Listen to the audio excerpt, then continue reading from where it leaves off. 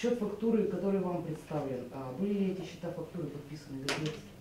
Подписаны, подписывает счета фактуры по- поставщик и его бухгалтер.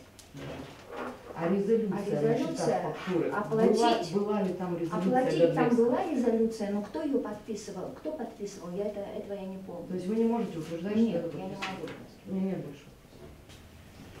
То есть по делу усматривается совместно участие Годлевского и Годлевской в совершении преступных действий, предусмотренных статьей 159 частью 4 УК РСФ в редакции федерального закона от 8 декабря 2003 года, совершенных группой лиц по предварительному сговору с использованием своего служебного положения в особо крупном размере.